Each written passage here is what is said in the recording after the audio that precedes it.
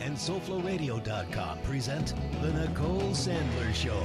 Truth to power, baby. And now, here's Nicole.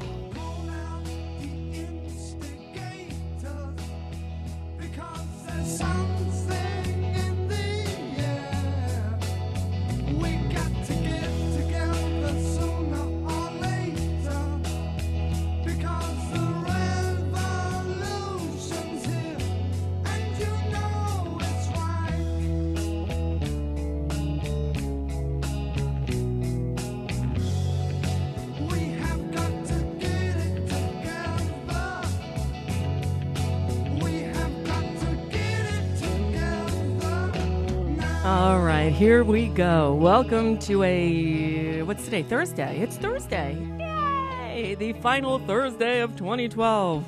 Uh, Yeah, it's the final everything of 20. You know, I, I find it interesting that on 12 12 12, everyone was all like, we're never going to see this again.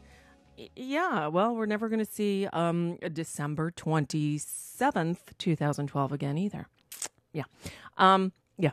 Anyway, just a weird uh, non sequitur of a thought on this Thursday morning. Welcome to it. Nicole Sandler here, live at radioornot.com, sofloradio.com, talkradio1.com, or perhaps you're listening uh, through the magic of podcasting, time shifting, if you will. And that's okay too. However, you're listening, I just uh, thank you for doing so. This is a good week to listen, you know, because we are live here and on Randi Rhodes show. And I really think every other so-called progressive talk show is uh, just airing repeats. You know, yesterday afternoon, I, I do this show from 10 till noon. Uh, at 1 o'clock, I got to be in the car driving up to West Palm Beach to go to Randi Rhodes' studio. It takes me about an hour to get there. Um, and uh, so I was flipping between Ed Schultz, uh, which was a rerun, and um, MSNBC, which, you know what, even uh, uh, when when it's um, not the holidays. Andrea Mitchell is tough enough to listen to, but Luke Russert, oh God, it was it was terrible. And then you know because I've got the XM in the car, so I can hear MSNBC and I can hear um, CNN, and you know at least CNN was kind of doing news. Ugh, Luke Russert. Ay, ay, ay. Anyway, there's that. Uh, so we are live on both shows. Um, yeah, you know, God, I, I got to turn this off. I, I have the new, um, I installed the new TweetDeck. You know, I'm sort of a Twitter addict, and um, I use TweetDeck. And uh, when once Twitter bought TweetDeck, it all went downhill from there. And the old TweetDeck was really good, but the old TweetDeck had been crashing my PC. I still have the old TweetDeck on the Mac and it's doing okay, but the PC it was crashing. So I finally I bit the I had I downloaded the new one, the old new one, and it was horrible. So I found a way to get the old old one back again. But now the, each time you open it, there's a message, there's a new TweetDeck, download it, and I thought, all right, well let me try it because it's it's um it, it's it's crashing my computer. So I did it, and and it's okay. It's not horrible. But every time someone DMs me, sends me a direct message, I get that little chirp, and it, under setting, there's no way to silence it. If anybody knows, let me know. So I, I had to close it. I'll have to open the TweetDeck on on the Mac. Hopefully, it doesn't screw up the UStream. You know, th- I, I this is the thing I hate about working, doing this show on a shoestring. And I got to tell you, I'm op- opening my e- my email, constantly checking the email, and uh, um, you know, I get a. Um, uh, it seems like every other message, every other email message I get is somebody, um, some organization asking me for a year-end contribution. So I guess I should do it too. I really, I'm going to have to start uh, doing this more often because, um, you know, I, I hate to sound like doom and gloom. And, and I'm trying to, one of my New Year's resolutions is going to be kind of think positively, count my blessings. As you'll notice if you're on my email list, um, my Festivus email, instead of the airing of the grievances, I decided to count some blessings, right? Uh, go to your sounds on your PC. You should be able to find a setting there that I can silence my TweetDeck. Really? It wouldn't be in the TweetDeck, Griffin? All right, I'll I'll try that later. Anyway, so um uh yeah, so uh I, I'm trying to change and, and not get into my head so much because I'll tell you, you know, we've talked about this, especially in relation to the gun issue, is that, you know, we need better mental health care in this country. Um, and I do suffer from depression. And sometimes I let circumstances get to me and I get down in the, in, really in the, in the depths of it and um, think that there's no way out of this. And yes, I am actively looking for a job because I, you know, um, as much as I appreciate the uh, uh, the contributions that many of you are making, I know that um, you know uh, people like me are not in a position to do a monthly contribution via PayPal. Which is, if you are, there's the button on my website. Anyway, so I hope you don't mind the occasional ask because I got to do it. It's it's really what's keeping me going. Between that, the money you contribute here, and um, the fill-ins for Randi Rhodes, I, I can't tell you how much I appreciate Randi Rhodes um, for all the work that she's given me because it's really what's kept me going this year. All right. So, anyway, there's that. Uh, today on the show, we got a busy second hour. It's Thursday. That means Maysoon Zayid will be with us for the last half hour. Apparently, she had some kerfuffle last night she has a stalker. And it got to the point where somehow the stalker got her phone number and was uh, calling her house and, and, and harassing the chefugee. That's what she calls her husband. Anyway, um, and so she she brought the FBI in last night. So we'll hear all about that. All right. Um, she may want to weigh in on Homeland too. I actually like Homeland, but you know what? I liked 24 also. Um, because I believe in escapism. I don't believe that violent movies and um, video games have anything to do with the gun violence. You know what? Other countries have the same movies and the same video games, and they don't have as many crazy people with guns running around because they don't have access to the guns. Yeah, you know.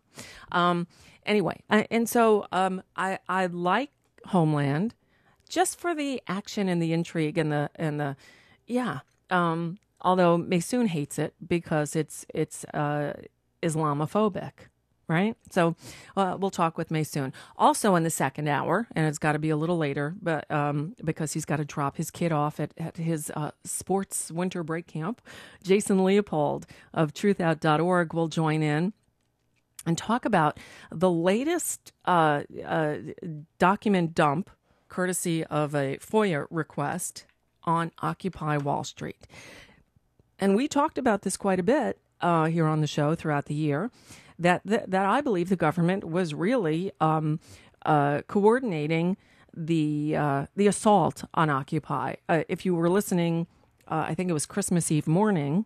I played a rerun of a show from May when I decided that the First Amendment had died, and I ripped up my little pocket constitution. Um, it all had to do with the fact that you know protesters were being arrested, we're being pepper sprayed. Uh, seriously? So, um, yeah, and, and if you missed it, you go back and listen to it. It's uh, I I I um I didn't podcast the show, but it's up on the video archive page. I, I recorded it again, so uh, the show with an empty chair is there uh, on the video archive page, which really just brings you to I think our YouTube uh, page anyway, or our UStream page. Um, and speaking of that, you know, the National Defense Authorization Act very quietly passed the other day. Of course, with the amendment in it that um, did away with the. Uh, it's it's the, here's a double negative.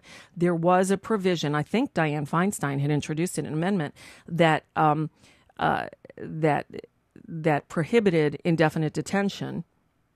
All right. Well, that was stripped out of the final bill that passed the other day as I said, very quietly. You know, uh, look, they also, uh, Senate also pretty quietly the other day passed, um, uh, uh you know, the, this provision that says uh, they can spy on our emails. Yeah, yeah, we have no right to privacy. I guess the, the clip that I played the other day of uh, Scalia when we were talking about abortion, yesterday it was, um, uh, regarding that the, the Fourth Amendment doesn't guarantee you any right to privacy when it, when it comes to abortion. It doesn't guarantee you any right to privacy at all. The Fourth Amendment is dead along with the First Amendment. So if those amendments are dead, why don't we just fucking kill the Second Amendment? You know, all the other ones are gone. Anyway, um, all right. So today, for the, the in the first hour while we're waiting, I'll tell you what. If you would like to call in uh, today's your day to weigh in. Oh, I need, I need to put up the um, uh, the slide with the phone number on it. If you would like to call in, if you would like to weigh in on any of the events of the year or uh, you know of of today, you're welcome to. Um, hold on, let's see. Let's put this up here side by side.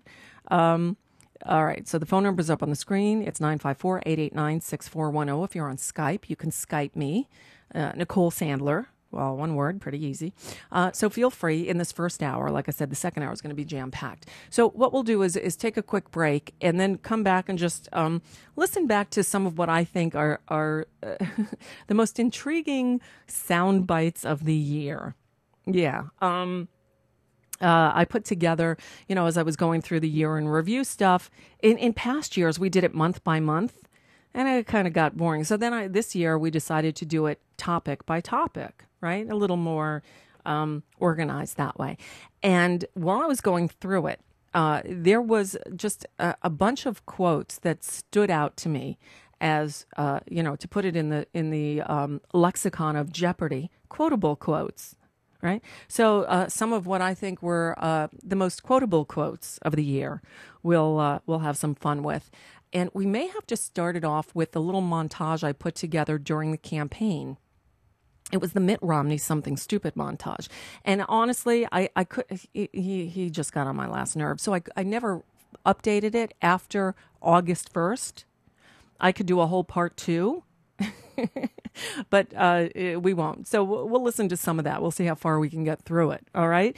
Uh, before we get to that, though, we'll take a quick break. We'll check in with Jim Hightower and come back with 2012's quotable quotes. All right. I'm Nicole Sandler. It is radio or not. On this special day, let's think about how we can advance the common good in America. I'll tell you about it today on Hightower Radio. This special day got me to thinking about America's spirit of giving. And I don't mean this overdone business of Christmas gifts. I mean our true spirit of giving, giving of ourselves. Yes, we are a country of rugged individualists, Yet there's also a deep, community minded streak in each of us. We're a people who believe in the notion that we're all in this together, that we can make our individual lives better by contributing to the common good. The establishment media pays little attention to grassroots generosity, focusing instead on the occasional showy donation by what it calls philanthropists, big tycoons who give a little piece of their billions to some university or museum in exchange for getting a building named after them. But in my mind, the real philanthropists are the millions of you ordinary folks who have precious little money to give, but consistently give of yourselves and do it without demanding that your name be engraved on a granite wall. My own daddy, rest his soul, was a fine example of this.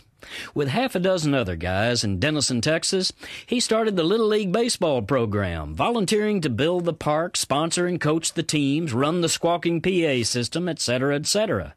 Even after I graduated from Little League, Daddy stayed working at it because his involvement was not merely for his kids, but for all. He felt the same way about being taxed to build a public library in town. I don't recall him ever going in that building, much less checking out a book, but he wanted it to be there for the community, and he was happy to pay his part. Not that he was a do good liberal, for God's sake. Indeed, he called himself a conservative. This is Jim Hightower saying, My daddy didn't even know he had a political philosophy, but he did, and it's the best I've ever heard. He would often say to me, Everybody does better when everybody does better. If only our national leaders in Washington and on Wall Street would begin practicing this true American philosophy. If you'd like more of Jim Hightower's real populism, check out the Hightower Lowdown. Jim's monthly newsletter gives you the real lowdown on which corporations, by name, are doing what to the middle class, our environment, and our democracy.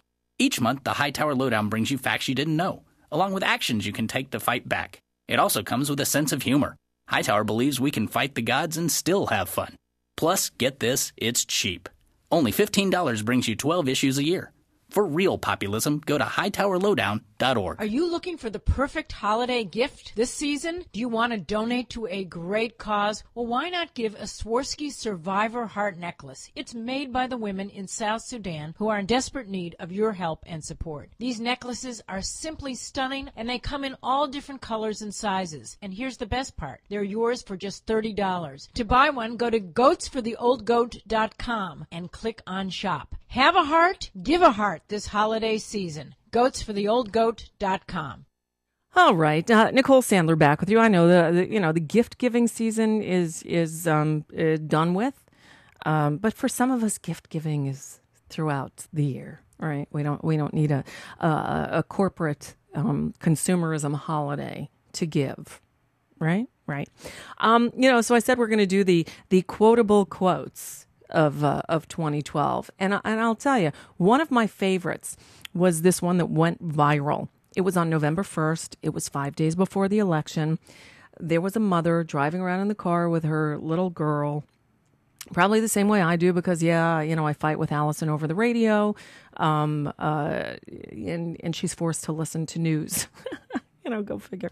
Well, this mother had a four year old. Now I remember when Allison was four, it was all the you know all the kid songs, right? Um, well, four year old Abby had had enough. Just because I'm tired, I'm tired of Barack Obama and Mitt Romney. That's why you're crying? Oh, it'll be over soon, Abby. Okay? Hmm. The election will be over soon, okay? Okay. Oh. I'm tired of Barack Obama and Mitt Romney. I, I knew exactly how she felt. I was especially tired. Look, yeah, you know, you know my thoughts on Obama. Uh, lesser of two evils. And, um, you know, I, I would have taken whoever the Democrat was over Mitt Romney just because of who Mitt Romney was, thinking that we had a better shot at pushing Obama to do the right things than we would have had in pushing Romney to do the right things. But I got to tell you, oh my God, the things that came out of Mitt Romney's mouth this year. Cor- corporations are people, my friend. We can raise taxes on.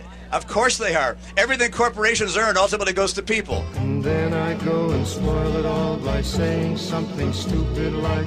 To also tell my story, I'm also unemployed. And then I go and spoil it all by saying something stupid like. One is don't try and stop the foreclosure process. Let it run its course and hit the bottom, allow investors to buy homes, put renters in them, fix the homes up, and let it turn around and come back up. And then I go and spoil it all by saying something stupid like. You know, I'm just saying, you were for individual mandates, my friend. You know what? You've raised that before, Rick, and uh, you're simply it was, wrong. it was true then. No, no. it's true now. Rick, I'll, I'll tell you what. Ten thousand bucks. 10,000 bucks. Ay, Ten ay, thousand dollar bet. He lives in a I'm different not in the betting world. business, but Oh, okay. I'll, I'll show you. And then I go and spoil it all by saying something stupid like. Uh, what's the effective rate I've been paying? Well, I've, it's probably uh, closer to the 15% rate than anything because my uh, last 10 years, I've um, uh, my income comes overwhelmingly from from investments made in the past rather than ordinary income or rather than earned uh, annual income. I, I, I got a little bit of income from my book, but I gave that all away, and uh, uh, and then I get speakers fees from time to time, but not very much. Not very much, my ass. By saying something More than I make in five went to the company and we said, look, you can't have any illegals working on our property. That's I'm running for office for Pete's sake. I can't have illegals. Then I go and spoil it all by saying something stupid like. I like being able to fire people who provide services to me. And then I go and spoil it And it goes on and on, yes. I know what it's like to, to worry whether you're going to get fired. No, a you couple don't. of times I wondered whether I was going to get a pink slip. No, I you don't. And spoil it all by saying something stupid like. Uh, you know, I, I think it's about envy. I think it's about class warfare. Are there no fair questions about the distribution of wealth without it being seen as envy, though? Uh, you know, I, I think it's fine to talk about those things and, uh, in quiet rooms and discussions about tax Quiet policy rooms, and, uh, right. and the like. And then I go and spoil it all by saying something stupid like. This feels good being back in Michigan. Uh, you know, the uh, the trees are the right height, the uh, streets are just right.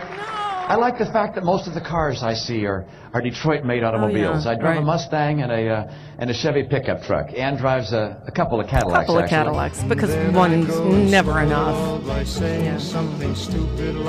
I'm not sure about these cookies. They don't, they don't look like you made them.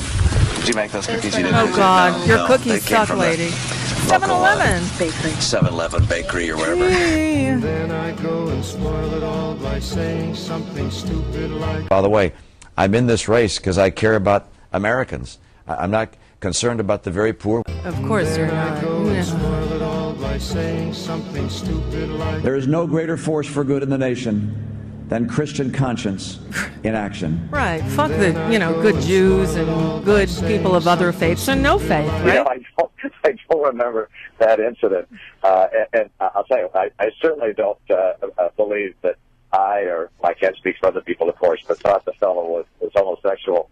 Uh, that that that was the furthest thing from our minds back in the 1960s. Oh. Uh, uh, so that that was not the case. Of course it wasn't the case. by saying something stupid like. Well, my own view, by the way, was that the auto companies needed to go through bankruptcy before government help. And frankly, that's finally what the president did. He finally took them through bankruptcy. That was the right course I argued for from the very beginning. It was the UAW and the president that This was uh, your idea, delayed Mitt. the idea of bankruptcy. Sure. I, I pushed the idea of a managed bankruptcy. And finally, when that was done uh, and help was given, the companies got back on their feet. So I, I'll, I'll take a lot of credit uh, Yeah, for the bet fact you that, will. uh, that this industry's come back. Right. Then I go and spoil What else, by Mitt? saying something stupid like. He wants to hire more government workers. He says we need more firemen, more policemen, more teachers. Did he not get the message of Wisconsin? The American people did. Ay, ay, It's time for us to cut back on government and help the American people. And it keeps going. He says that you're out of touch. He says that you want to cut firefighters and teachers, that you don't understand what's going on in these communities. What do you say to that, Governor? Well, that, that's a very strange uh, accusation. Of course, uh, uh, teachers and firemen and policemen are hired at the local level and Oh. also by states. I thought it was uh, big the federal government, government doesn't pay for teachers, uh, uh, firefighters, or, or policemen. I Uh, thought so that's big obviously that's completely absurd. Ah, you just called yourself absurd. By saying something stupid like. I met a guy yesterday, seven feet tall. Yeah, handsome, great big guy, seven feet tall. Name is Rick Miller, Portland, Oregon. And uh, he started a business. I, of course, you know, it was in basketball. But it wasn't in basketball. I mean, I figured he had to be in sport, but he, He wasn't be in in sport. sport. His business is But caring for in seniors. He wasn't in sport. Go figure. Saying something stupid like. And so to do that, I'm going to eliminate every non-essential, expensive program I can find. That includes Obamacare, and I'm going to work to reform and This was at the NAACP convention, remember? Yeah.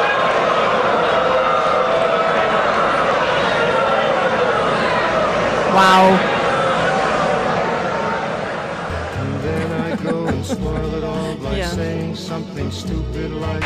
I submit to you this if you want a president who will make things better in the African American community, you are looking at him. Yeah. And big laughs again to the NAACP convention. You take a look. You take a look. Right. At the pasty white guy. By saying something stupid like. You know, it's hard to know just how well it will turn out. Will turn out. There are a few things that were disconcerting. The stories about the uh, private security firm Right, not the having enough right? people, uh, the su- supposed strike of the immigration and customs officials. That obviously is not something which is encouraging.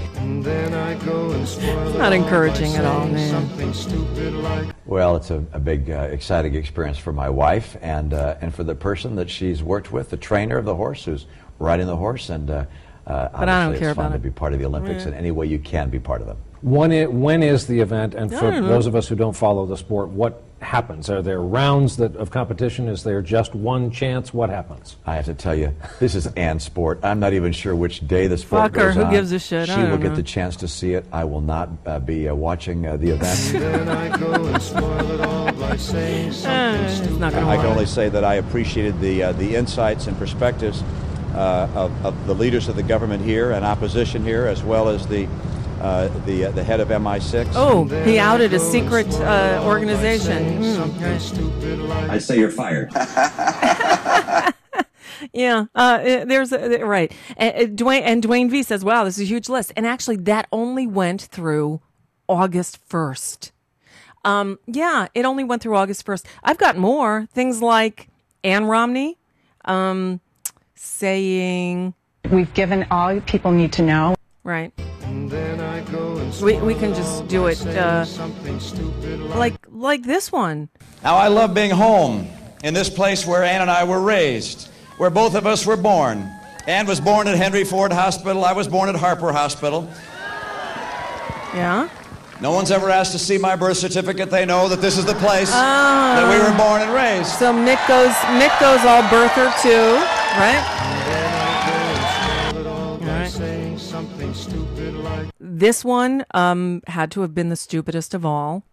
There are 47% of the people who will vote for the president no matter what. All right, there are 47% who are with him, who are dependent upon government, who believe that, that they're Yeah. victims, who believe Right. that government has a responsibility to care for them, who believe that they're entitled to health care, to food, to housing, to you name it. But that's it's an entitlement, and the government should give it to them. And they will vote for this president no matter what. And, and I mean, the president starts off with 48, 49, 40. He starts off with a huge number. Dig in the grave. These are people who pay Dig no in the grave. tax. Forty-seven percent of Dig Americans pay no income tax. Hmm. So our message of low taxes doesn't connect. And he'll be out there talking about tax cuts for the rich. I mean, that's what they sell every every four years. And uh, and so my job is not to worry about those people. I'll never convince them that they should take personal responsibility and care for their lives. What I have to do is convince the five to ten percent in the Senate. Yeah. Um, we need more. And then I go and spoil it all by saying something stupid like. Let's bring Ann in, shall we? Stop it. This is hard. You want to try it? Get in the ring. This is hard. And you know, it's it's an important thing that we're doing right now, and it's an important election. Oh. And it is time for all Americans to realize how significant this election is and how lucky we are to have someone with mis- qualifications and experience and know how to be able to have the opportunity to run this country. Yeah. And then I go and spoil it all by saying something stupid like. Oh, we didn't have this one in there. Well, the answer is self deportation, which is people decide that they can do better by going home because they can't find work here Uh-huh. because they don't have legal Right. documentation to allow them to work here. Oh, that's it. Uh, Self deportation. Okay, that's pretty stupid, but And then I go and spoil it all by saying something stupid like. I happened to see my dad um, uh, run for governor when he was 54 years old. Yeah? He had good advice to me. Really? He said, Mitt, never get involved in politics if you have to win an election to pay a mortgage. oh, so only rich people should run for office. Oh, okay. And then I go and spoil it all by saying something stupid like. And, uh, all the applicants seem to be men. And I, and I went to my staff and I said, How come all the people for these jobs are, are all men? They said, Well, these are the people that have the qualifications. And I said, Well, gosh, can't we, can't we find some, some women that are also qualified? And, uh, and so we, we took a concerted effort to go out and We find women effort, who had backgrounds that could be qualified to become members of our cabinet. Hmm. I went to a number of women's groups and said, Can you help us find folks? And they brought us whole binders full of, uh, of women. They brought them binders full of women. All right. Uh, I, I could keep going, but so many other people in 2012 said really stupid things. so I'll tell you what we'll do. Let's take another quick break. We'll we'll get another nugget of brilliance from Jim Hightower and come back with more stupid quotable quotes from 2012 in just a moment. I'm Nicole Sandler. Thank you for being with us on this 27th of December 2012.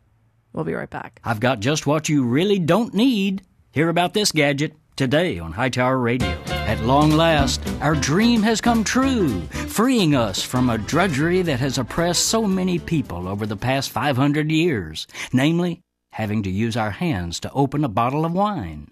Yes, the electric corkscrew is here, and just in the nick of time for that fabulous New Year's Eve party you're throwing.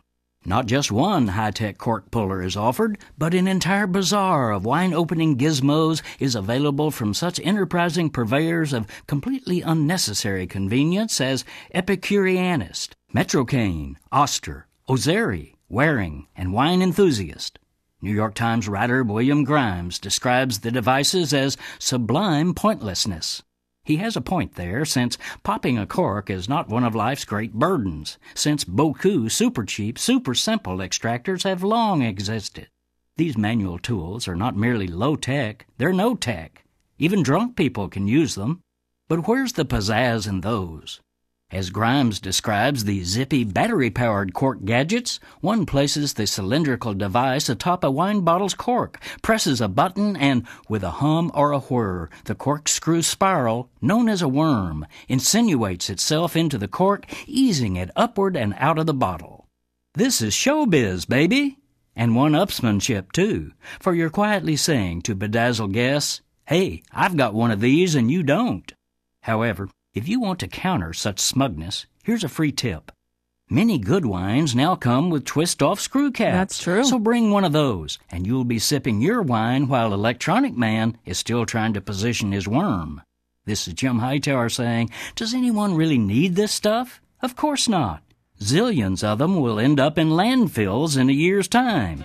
To wean yourself and others from such excess, check out Annie Leonard's website at storyofstuff.org. If you like these feisty pops of populism that Hightower zings out on the airwaves, check out the Hightower Lowdown. Jim's monthly newsletter provides the in depth lowdown on what the greed heads of Wall Street and the boneheads of Washington are doing to us behind the scenes. With Hightower's saucy Texas humor and truth telling populist perspective, the lowdown literally can lift you up. And get this you can have the lowdown delivered to your mailbox or email each month for only $15 a year. Yes, 12 issues, only 15 bucks. Check it out hightowerlowdown.org. Although I got to tell you, I usually fully agree with Jim Hightower, but David, you know, is a wino. He he's a wine collector. He has an electric corkscrew and swears by it. Just saying. Just saying.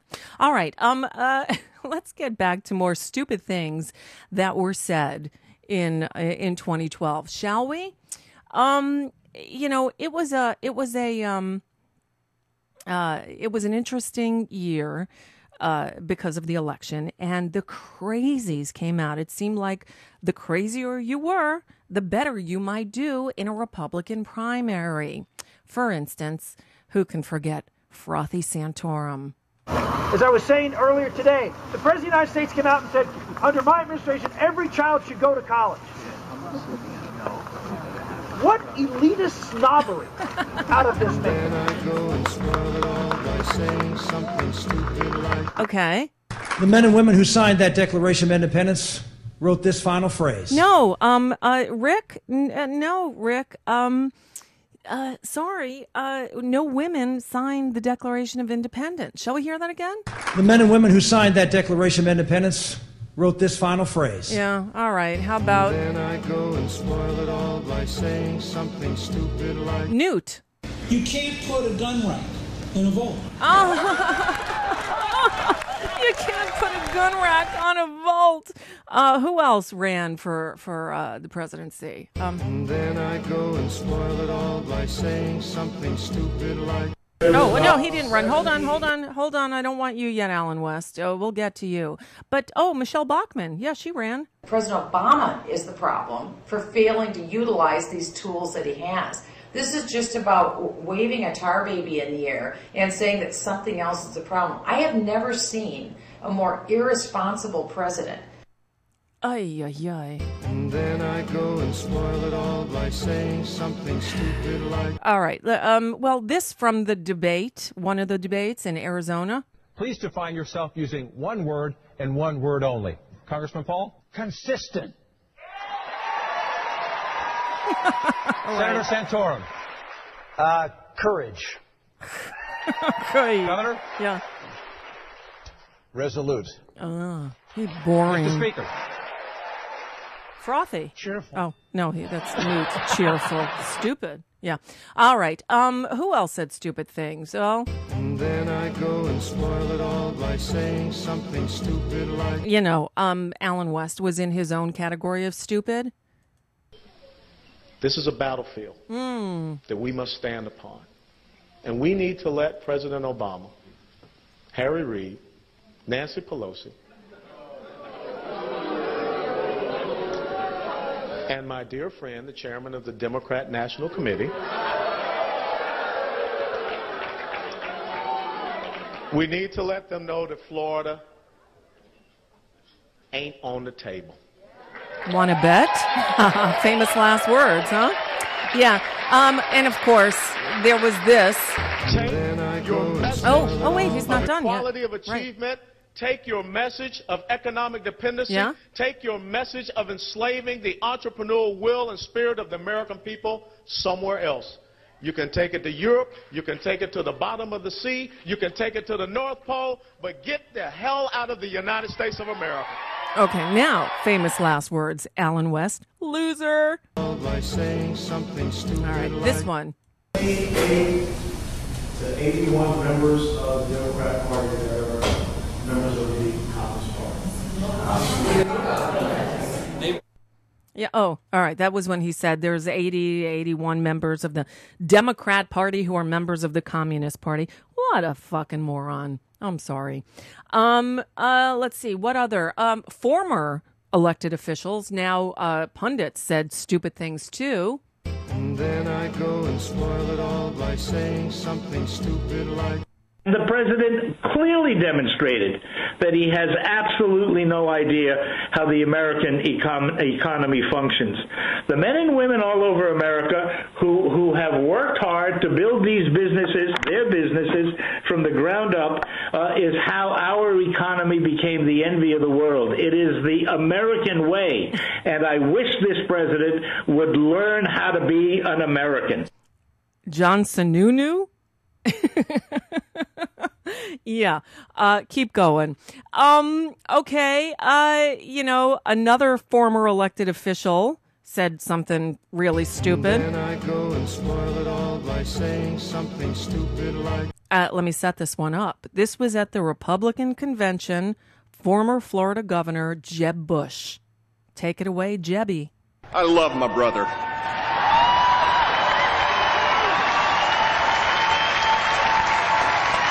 Glad you do.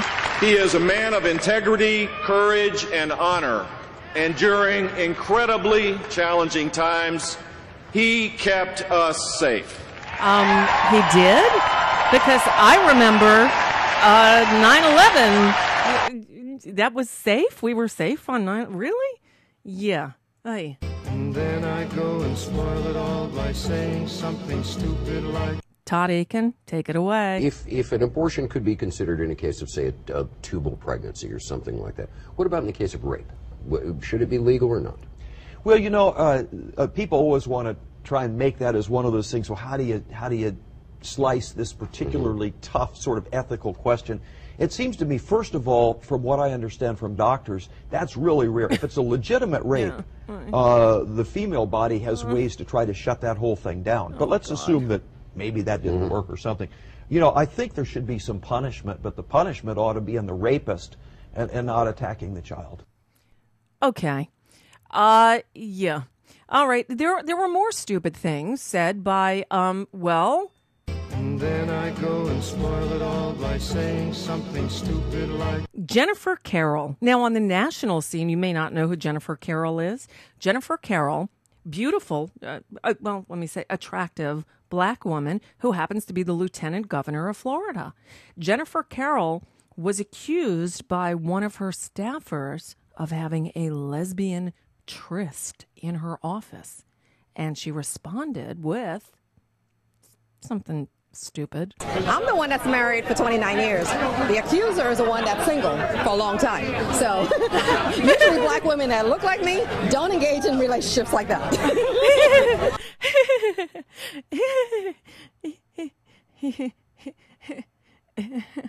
Uh, yeah. Um, then, of course, there's always Grover Norquist. And then I go and spoil it all by saying something stupid Like, Public and elected officials who vote for tax increases are rat heads in a Coke bottle. rat heads in a Coke bottle. Okay. He's also the guy who said Mitt Romney was a poopy head. And, you know, just saying, uh, just saying. Um, what else do we have here? I, I do have, you know, um, boy, in the really, really stupid category, uh, some people say you don't speak ill of the dead. But hey, I think the world became a better place after Andrew Breitbart died. You might remember that at CPAC, the big conservative uh, uh, convention each year, there were a bunch of Occupy protesters outside. And Andrew Breitbart was a bit fucked up, gotta believe, and um, lost it. CPAC has got to go. Hey, hey. Behave yourself. Behave yourself. Behave yourself. Behave yourself. Behave yourself. Behave yourself. Behave yourself. Behave yourself. Behave yourself. You are freaks and animals. You're freaks and animals. Behave yourself. Behave yourself. Behave. Oh my God. Sexist, anti-gay, right-wing bigots, go away. Racist,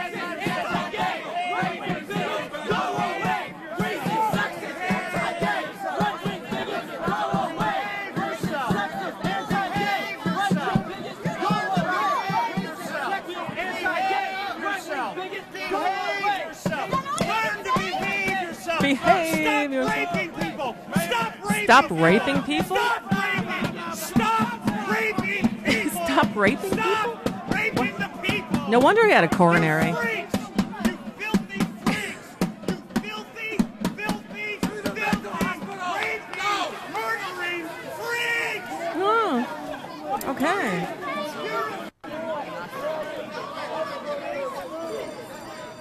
Wow. That was that was good. Okay, so Andrew Breitbart losing it on on video. That man was nuts, and yes, uh, not too long after that, he had a massive coronary and dropped dead on the sidewalk. I think he was walking his dog. Karma's a fucking bitch, you know? Okay. Um, what else? Let me see what else I've got in my little goodie bag here. Um, the people, well, you know, the, people at Fox were never accused of saying smart things, and most of what they said was really stupid. Like this one, a guy named Eric Boyle Ing uh, said this one. either you have Obamacare or you don't, because Obamacare literally may kill you. I mean, you, you can say Mitt Romney did kill. This could kill you because of the independent panel. That board is going to be a big problem. We have bureaucrats deciding what fiscally is responsible, They're- which they're operations they're you can. Yes. Yes, they are, They Bob. are. So Obamacare will literally kill you. Okay, thank you. But every once in a while, someone on Fox speaks the truth. Um, for instance, um, well, Bill O'Reilly, you gotta. I mean, this this was sort of on the cusp. Um, Bill O'Reilly. Thanks, Dan with us. I'm Bill O'Reilly in the Weekdays of Bernie segment tonight. The far left smear site Media Matters making a big deal out of this. This is I think it'll absolutely a mandate. upheld. It's absolutely a force. It's absolutely police powers from the federal government, and it's going to be five to four. And if I'm wrong, I will We'll come on and I will that. play. I will play your clip, and I will apologize right. for being an idiot. Okay, I'm not really sorry, but I am a man of my word, so I apologize for not factoring in the John Roberts situation.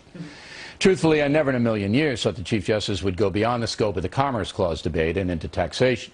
I may be an idiot for not considering that. He's an idiot. See, he's an idiot. He admitted he was an idiot.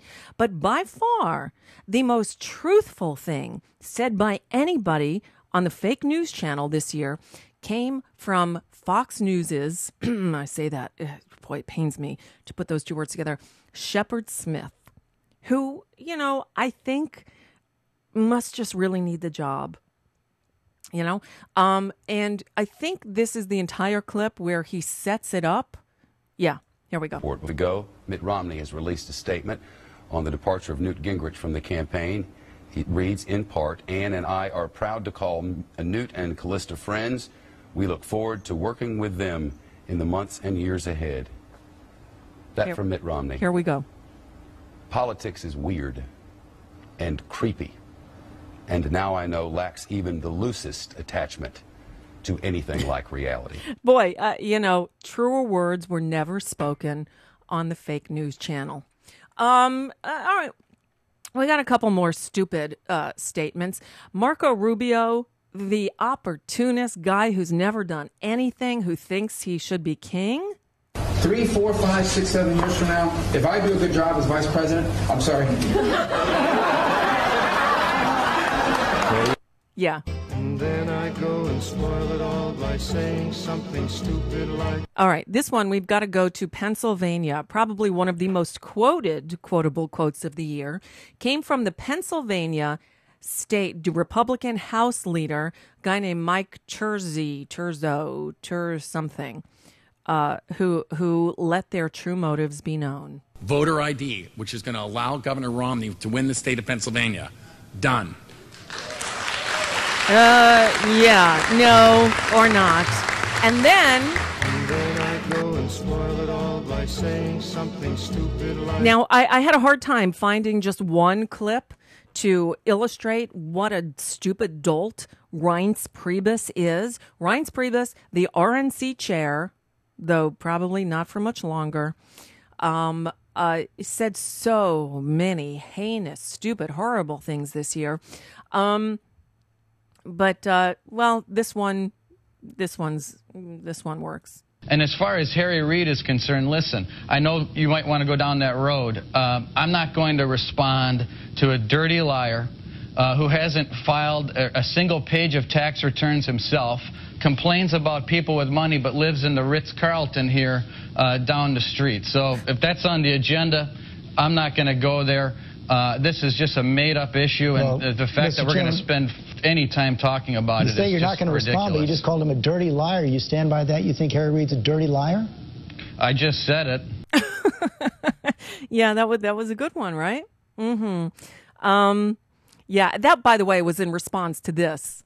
When we're talking about trust, we need to look no further than the person that my friend, the Republican leader, wants to uh, be president of the United States. He's refused to release his tax returns, as we know. If a person coming before this body wanted to be a cabinet officer, he couldn't be if he had the he did the same refusal Mitt Romney does about tax returns. So the word's out that he hasn't paid any taxes for 10 years. Let right. him prove that he has paid taxes right. because he hasn't. Right. We already know from one partial tax return that he gave us, he has money hidden in Bermuda, the Cayman Islands, and a Swiss bank account. Not making that up, that's in the partial year that he gave us. Mitt Romney makes more money in a single day than the average middle class family makes in two years. Uh, we never did get the, you know, the, the, we never did see all of Romney's tax returns, and I had a number of uh, theories as to why. One is I believe that he took advantage of the um, of the um, uh, the the amnesty given to all the, the the the zillionaires who had money stashed in the Swiss UBS uh, bank um, after Bradley Birkenfeld blew the whistle, right? Um, so I think there were a number of reasons, and I think there were many years that Romney didn't pay any taxes. But I, I think that tax amnesty thing was a big deal. It was a big one. Um, so, and you know what? Now I don't care. Mitt Romney, just go away. Um, you know, the Republicans weren't the only ones who said stupid things. And and the thing is, with Joe Biden, I don't think I don't think it's stupidity. I think Joe Biden just um, you know, his mouth works faster than his brain. So And then I go and spoil it all by saying something stupid like Romney wants to let the, he said in the first 100 days, he's going to let the big banks once again write their own rules. Unchain Wall Street. They're going to put you all back in chains. Yeah, yeah, you know. Um, sometimes, again, Joe doesn't think before he opens his mouth. But Joe Biden, you know what? Sometimes it works in our favor, like this time. You, you raise social policy. I'm curious. You know, the president has said that his views on gay marriage, on same sex marriage, have evolved, but he's opposed to it. You're opposed to it. Have your views evolved? Look, uh, I just think uh, that uh, the good news is that as more and more Americans be, come to understand what this is all about is a simple proposition. Who do you love? Who do Who do you love? Love it. Love it. And will you be loyal to the person you love? And that's what people are finding out is what what all marriages at their root are about. Well, whether they're marriages of lesbians or gay men yeah. or heterosexuals. Fuck Is that yeah. what you believe now? That's you, what I believe. And you're comfortable with same-sex marriage now? I, I, look. I am Vice President of the United States of America. Um, the President sets the policy. I am absolutely comfortable with the fact that men marrying men, women marrying women, and heterosexual men and women marrying men are entitled to the same exact rights, all the civil rights, all the civil liberties. And quite frankly, I don't see much of a distinction uh, beyond that. In a second term, will this administration come out behind same-sex marriage, the Well, institution of marriage? I, I, I can't speak Yes. to that. Uh, I, I, I, I, I don't know the answer to that, but I can tell you. It sounds like you'd like to see it happen if that's where well, the president would the get to. president continues to fight, whether it's don't ask, don't tell, or whether it is making sure across the board that you cannot discriminate. Look at the executive orders he's put in place. Any hospital that gets federal funding, which is almost all of them, they can't deny a partner from being All right. able. And so it went on. And so Joe Biden, just being Joe, pushed this administration into um, going all in for uh, marriage equality before they were ready to do so. And thank you, Joe Biden. Joe Biden was also the guy who wrote the original um, assault weapons ban bill uh, while in the Senate. And therefore, he is tasked with heading up this commission, this committee, to um, figure out what to do about guns today. Joe Biden, I like him, you know? And, um, you know, although he may have uh, occasionally jumped the gun and stuck his foot in his mouth, I, I, I say thank you, Joe. Yeah, good on him and, and on the rest of us for having him as vice president. Um, uh, President Obama, of course, over the past year said a few stupid things, but but you know what?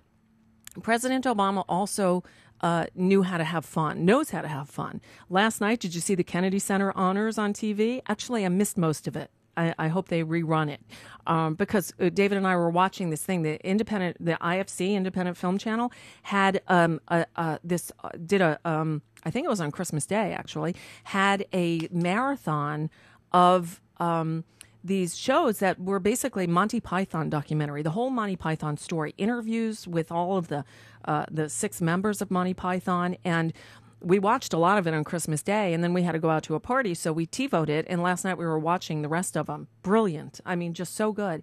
And then I got into bed about ten fifteen, so I caught the last or ten thirty. I caught the last half hour of the Kennedy Center's honor, and I got to see the end of the um, uh, the background on uh, Led Zeppelin and then the jam session. It was kind of interesting watching Foo Fighters jamming out. I think what they did rock and roll, if I remember correctly, and watching you know Barack and Michelle Obama sort of jamming to to rock and roll. You know, cool, a rock and roll president, right? So, um, you know, I gotta like a president. We loved Bill Clinton because he played the saxophone, and uh, one of the most overplayed clips this year was this. And then to know that uh, Reverend Al Green was here. I so in love with you. right? And that's all he sang. But you would have thought, you know, uh, right? Okay. But I'll tell you, one of my favorite moments of President Obama coolness was uh, when he joined Jimmy Kimmel to slow jam the news.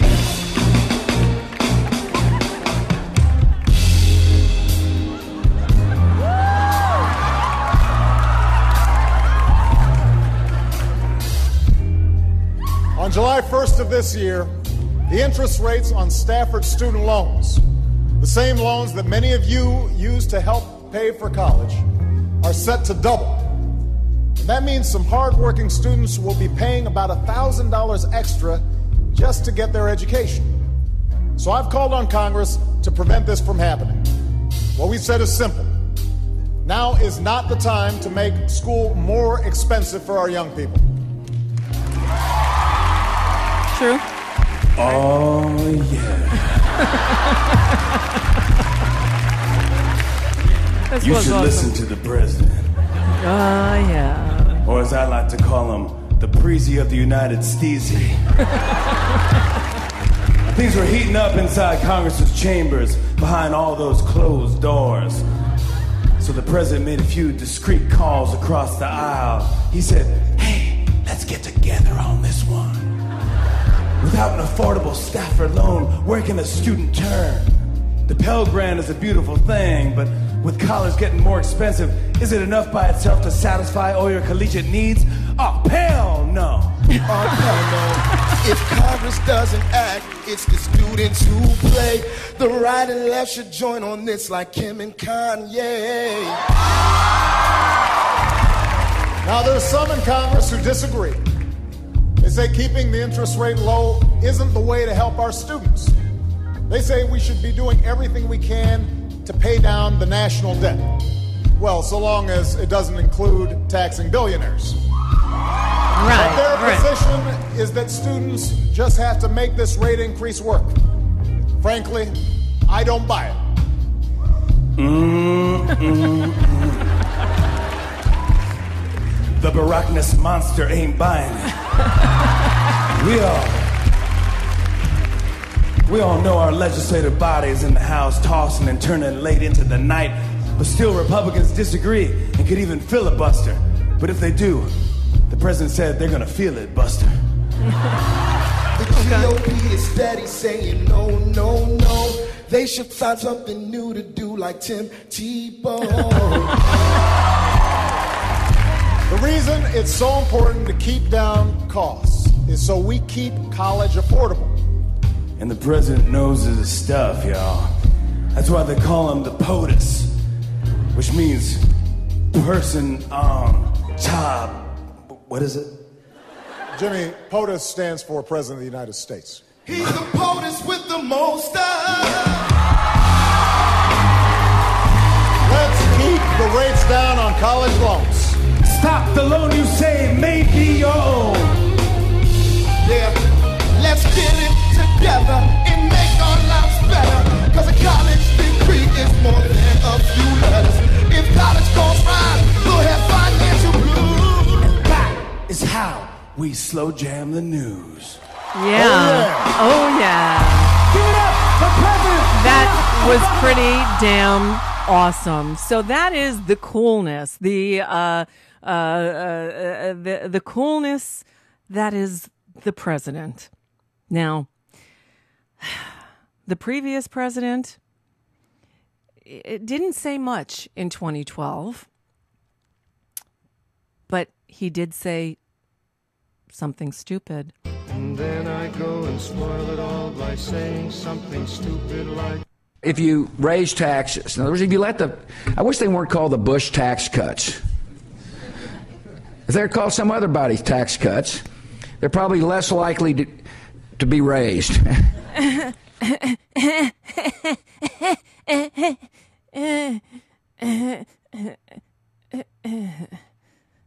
All right. Uh, one more quick break. Oy. And back with Jason Leopold next. I've got just what you really don't need. Hear Oh, about this? Wrong one. This one. Whoa, an academic whitewash of fracking just got fracked. I'll tell you about it today on Hightower Radio. How ironic. Fracking recently got fracked. This brutish technique for extracting natural gas from deep within the earth, led by such profiteering giants as ExxonMobil and Halliburton, has rapidly swept across America. Indeed, it has run right over local residents who've had their air and water polluted, their families sickened, and their own economic futures imperiled. As usual, the frackers poo pooed the concerns of these bothersome citizens, insisting that the process is perfectly safe, doing no damage to people or the environment. Their assertion of purity was bolstered several months ago by an academic research report issued by the prestigious Energy Institute at the University of Texas. In a summary of the white papers that made up the report, lead researcher Charles Groat declared that the scientists found little or no evidence of damage to groundwater. So there you have it an academic acquittal of fracking. Well, not quite. A watchdog group called Public Accountability Initiative popped up with a revelation that Professor Groat held some $1.7 million worth of stock in a gas fracking corporation, served on its board, and was paid $400,000 by it as the report was being assembled. This forced UT to announce that a three member panel would investigate, a ploy that many critics feared would be a whitewash. No such luck for Groat, however. Using blunt terms like distortion, inappropriately selective, and very poor judgment, the panel excoriated the professor and the university, concluding that the hoked up report should be withdrawn. The panel's findings were, as the watchdog put it, a damning critique. So damning that UT has since withdrawn the report. Groat was compelled to retire, and the head of the Energy Institute has resigned. This is Jim Hightower saying, now that's a thorough frack job. Need an antidote to the progressive blues? Want some good news about how grassroots folks are rebelling against the corporate powers and winning? Well, here's an easy to swallow pill for you the Hightower Lowdown. Hightower's monthly newsletter will give you the lowdown, even as it lifts you up. It's four pages a month, jam packed with facts you can use, actions you can take, and Jim's own Texas humor, all for only $15 a year.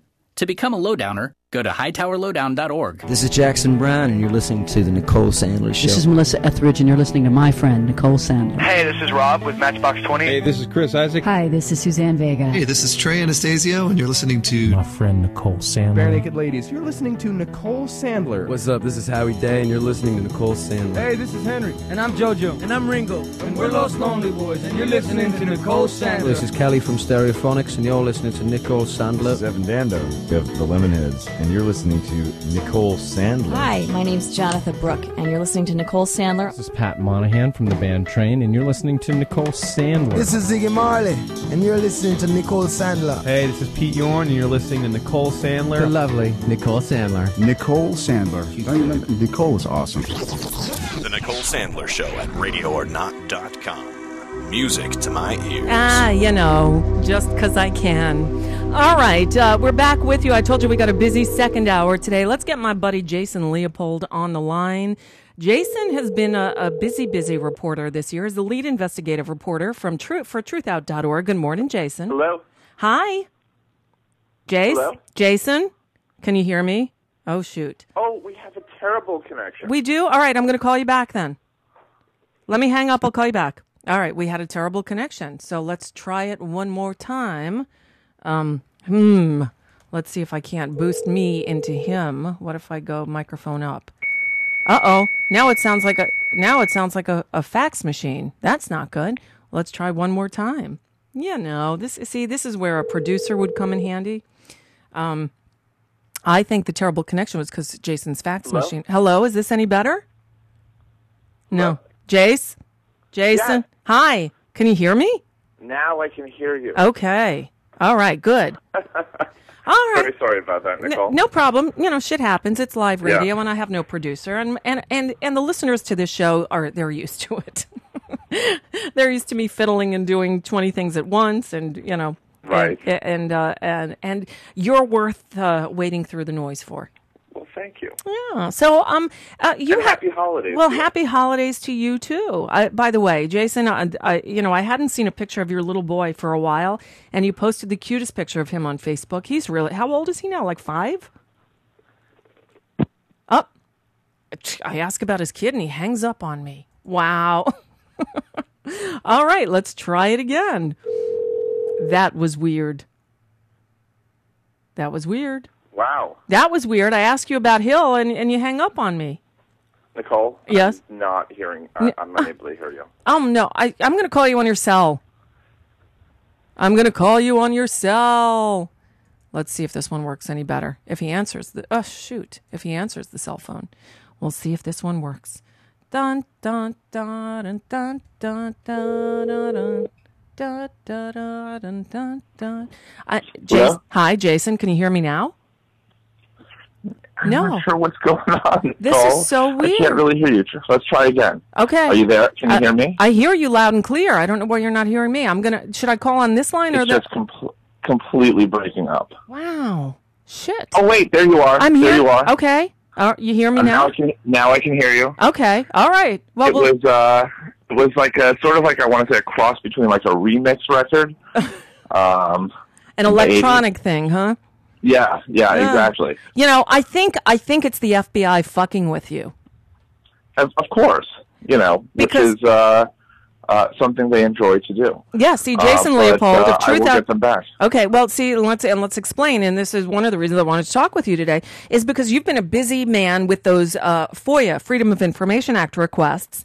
Uh, most Yeah. recently, dealing with uh, the government's surveillance and actions on Occu- the Occupy movement. Right? Yes, correct. And in fact, uh, you know, just to point out, I still have an active uh, Freedom of Information Act lawsuit against the Department of Justice and the FBI uh, related to Occupy Wall Street.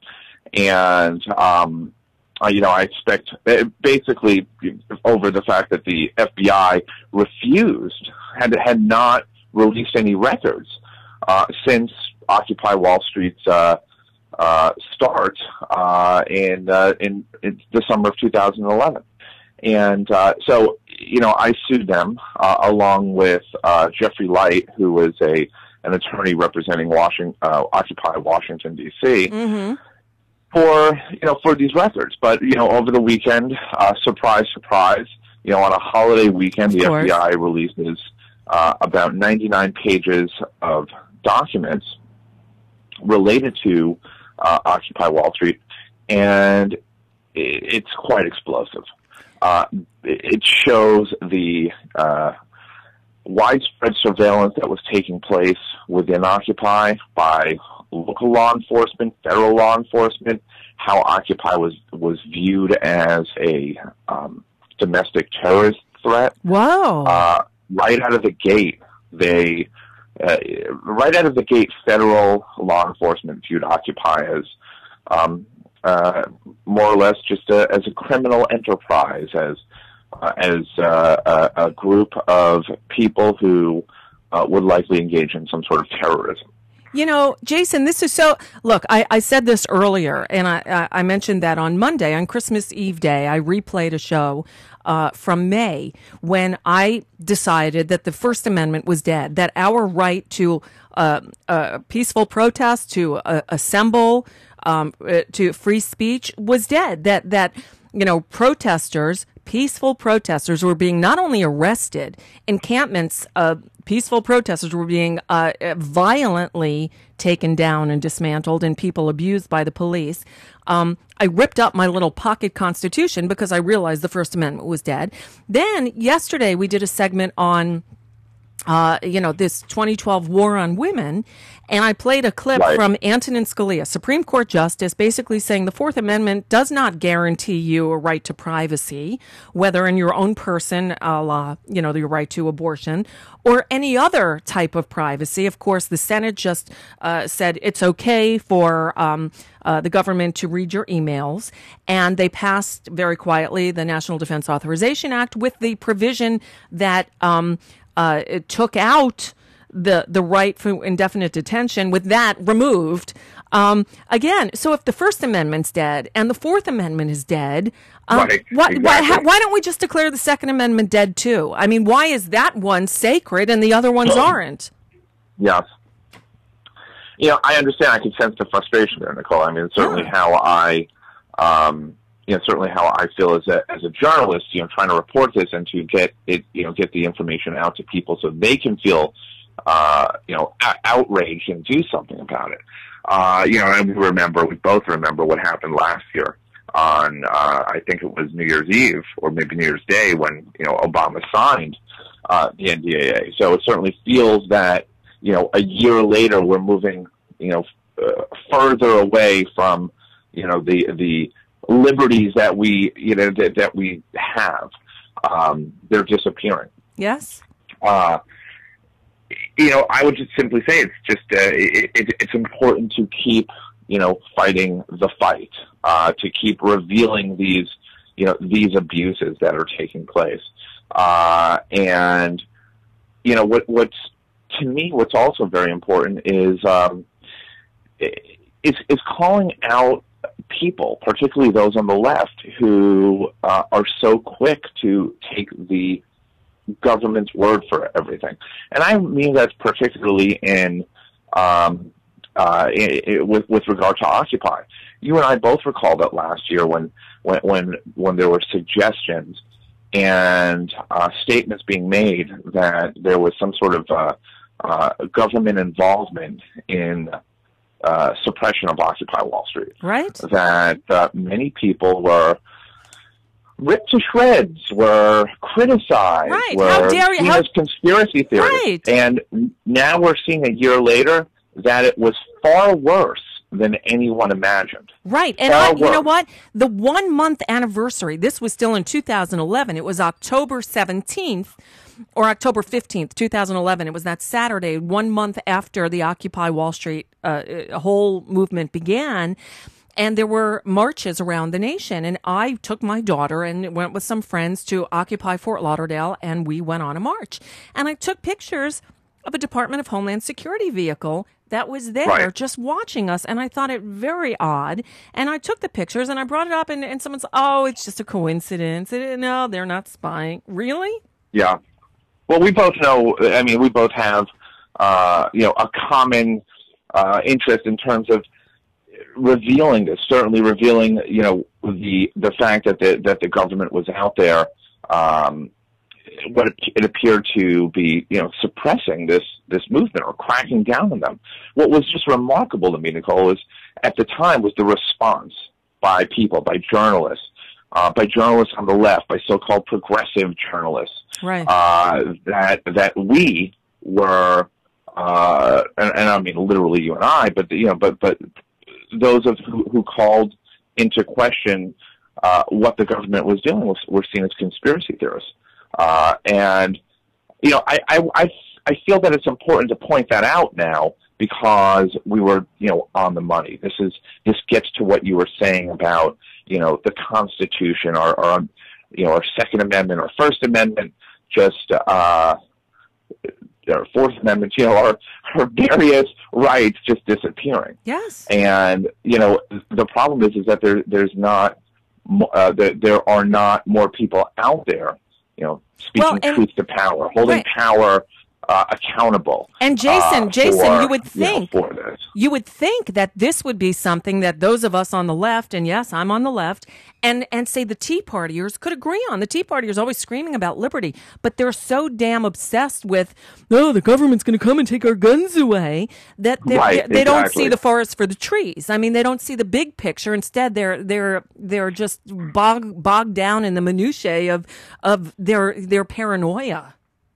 Yes, I agree. I think that this certainly, you know, th- this type of government uh, activity, surveillance, infiltration, uh, certainly would, would would seem to represent all that the Tea Party uh, is against. And I should note, by the way, that I, I also filed a Freedom of Information Act request for uh, similar documents uh, with the FBI, whether the FBI and Department of Homeland Security has on, have on the Tea Party.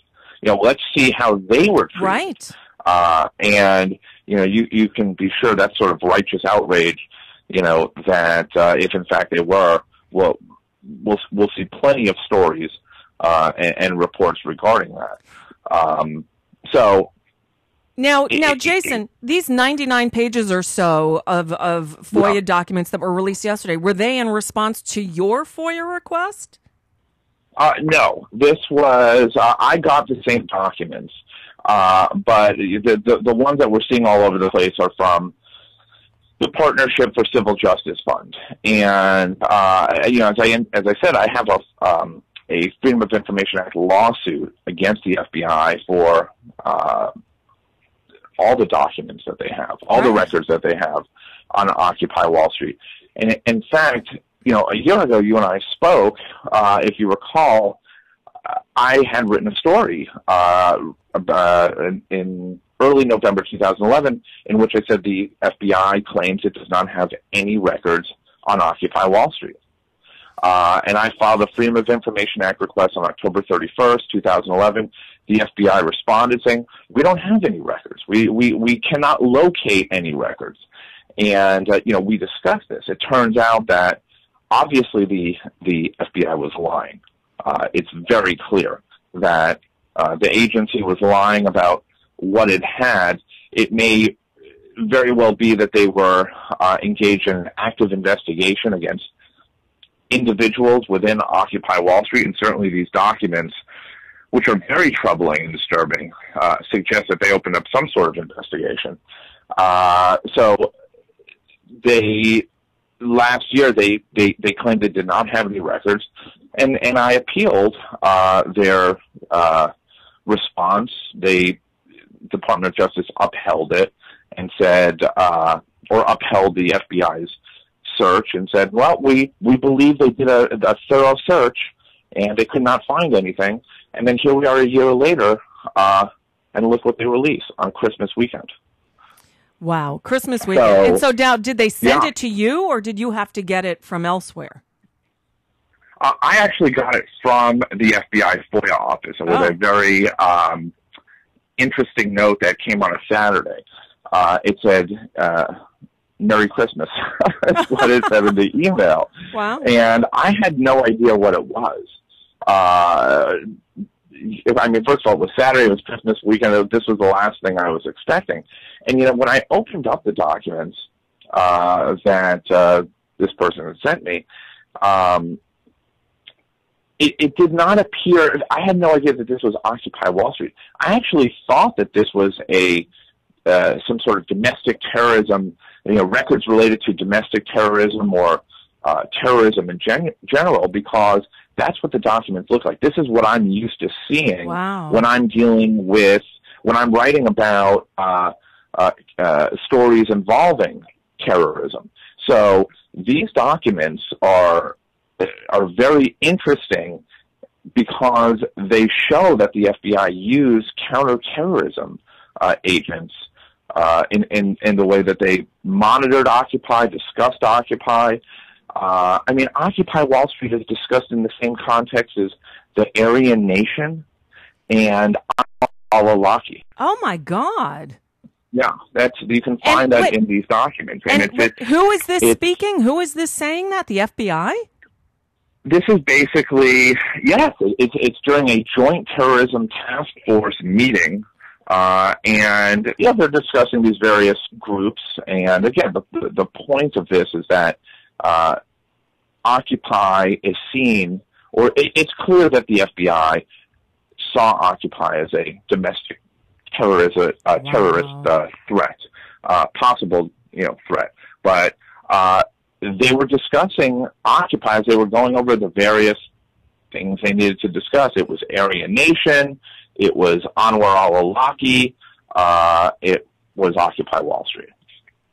Wow. Uh, It's stunning how little disregard they have for the people of this country who were, and again, we need to stress this Occupy Wall Street peaceful protest movement. I mean, that was like the Well- number one directive of anything we do. It's peaceful, nonviolent, um, civil disobedience, right? Yes, yes. In fact, it says, in the, you know, in these documents, it, it states that uh, this is a peaceful. Uh, they appear to be peaceful. There, there, there's no evidence here that uh, this, you know, movement is anything but uh, peaceful, and that the, that the individuals who are involved with Occupy Wall Street are simply exercising their, you know, their First Amendment rights. Right. But right on the first page of this, uh, you know, of, the, of these batch of records, it says, uh, you know, Federal Bureau of Investigation, situational information report, potential criminal activity alert. And, you know, this is a, a, um, a document dated September 15th, 2011, discussing, in, in which the FBI, dis- uh, Indianapolis division, is discussing the potential for violence and, and uh, uh, illegal activity uh, by Occupy uh, organizers and U.S. Day of Rage organizers. Uh, and, and U.S. Day of Rage was uh, more or less predated Occupy, and it was calling for, you know, fair and transparent elections. Mm-hmm. But throughout these documents, Nicole, I mean, there, you, everything you, you see is that uh, you know Occupy is engaging, you know, is exercising their First Amendment rights. They're peaceful, and then you you you simply see the FBI continuing to gather intelligence. And so the question becomes, why are they gathering intelligence? Why are they continuing to uh, to monitor uh, this group if it's in fact uh, peaceful? Uh, out of nowhere, on you know, on, on page seven of these documents, we, we uh, I see a uh, a uh, safety bulletin being disseminated by the FBI to uh, law enforcement in Green Bay, Wisconsin. And it simply says, want to let you know that uh, Occupy protesters uh, may want to shoot police officers. Oh my doesn't god! actually say where. Yeah, it doesn't say where that information came from. And I should note that it's you know it's obviously there's there, there's much that is redacted uh, in these um, in this batch of documents, but you can imagine that if you're a police officer and you're receiving this information, and you know that uh, there's unnamed protesters who may want to shoot you, whether you believe it or not, that can certainly lead to the type of uh, reaction that uh, that that we obviously witnessed. Uh, whether it was over the top, which I think many uh, people believe it was, but it's it, it's that, that's the information that they shared. It's it's just unbelievable that on one hand they're saying they're peaceful, then on the other hand they're saying, hey, by the way, uh, these, these they may want to shoot you. Wow. Hey, Jason. Now, is there anything that that wasn't redacted that you can see about the the seemingly um, um, coordinated shutdown of Yeah. all the Occupy encampments around the country? No. Uh, in fact, uh, you know, it's a discussion I had with, with several people, and I think that that's still the smoking gun, if you will, that's that's uh, that's still out there. Uh, there there's no uh, smoking gun here, but you can tell that the information and intelligence that uh, is is being disseminated by the FBI to local law enforcement uh, certainly would appear to have, I would say, ignited a fire under uh, law enforcement and uh, perhaps got them to, you know, get together or, or discuss this. You know, what do we do about this? Uh, perhaps this is they felt that this, you know, was a movement that they could not control, uh, although they, you know, they try to. And I, I'm not trying to excuse any behavior uh, or or the way that they responded with with regard to the coordinated crackdown, because that's clearly what it was a coordinated crackdown. But there is there there just simply isn't a you know smoking gun here that that shows that they coordinated Any- uh, together. any- but I will I will say that there there is, however, you know this is these are 99 pages of of records. There's uh, the FBI identif- identified 399 pages. So there's 300 pages that are withheld. Wow. Wow. Now, is there any indication that there's going to be more coming uh, under this FOIA request? Absolutely. Okay. Absolutely. Well, you know, certainly with my lawsuit, uh, they uh, uh, should be producing additional records, and uh, we'll certainly, you know, keep the, you know, pressure on uh, the FBI to release those records uh, via our litigation. And anything that they withhold, you know, we'll also challenge. Uh, you know, much of the information that's being withheld here is, is under law enforcement techniques and procedures, uh, privacy rights, but uh, there's there's also information that's being withheld that probably would would, would expose some embarrassing behavior on the part of our federal government or part of our you know federal law enforcement uh, agencies, and that certainly seems clear. But it, it, you know, it, to get back to what I was what I wanted to um, or what I was indicating at the beginning of our conversation, you know, this confirms, Nicole, that you know that the suspicions and that uh, that that people had early on about federal involvement in this movement, uh, and and with regard to surveilling the movement, was absolutely correct. Yep. Absolutely. Wow. So- Wow. Um, so, uh, you know, sometimes uh, we need to trust our instincts, you know, and especially your your uh, your reporting. Uh, Jason Leopold, you can always find him at truthout.org, of course, on Twitter at Jason Leopold. Um, obviously, you're you're I'm uh, uh, you're working over the holidays because this this uh, um, uh, document dump came on the holiday weekend. Um, uh, anything you're working on that we're going to see in the in the early days of uh, 2013?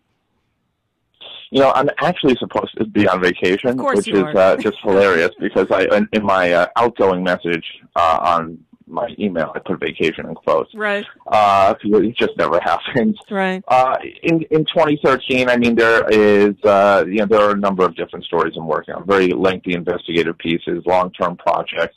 Certainly, uh, some related to Guantanamo. That's still there, Mhm. as you know, uh, and uh, additional civil liberties.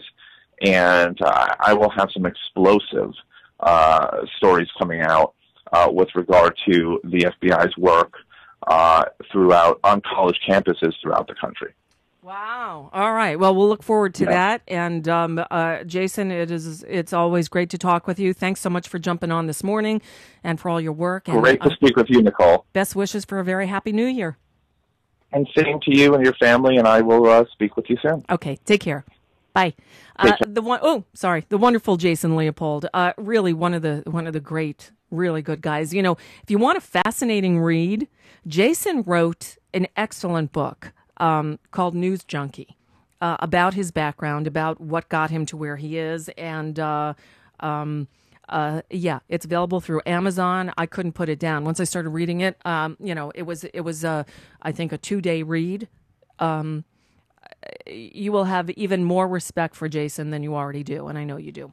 All right. Um, let's see. Let's take another break. Uh, I'll hear a little from uh, Boca on uh, one for all the people traveling and having to go through the TSA, and then back with Maysoon Zayid as we uh, wrap up a Thursday show and a week here on radio or not on the Nicole Sandler show. Don't forget, I'm in for Randi Rhodes this afternoon and tomorrow afternoon. We'll be back here with another live show Monday morning, and I'll be in for Randi Rhodes Monday afternoon as we uh, bid farewell to 2012 and say, don't let the door hit you in the ass on the way out. I kept begging them over and over again, get off of me, get off of me, get off of me. He ran his hands down over and pulled the pants down. They went down around my ankles. He asked to see a supervisor. That made things worse. She was yelling, I have power.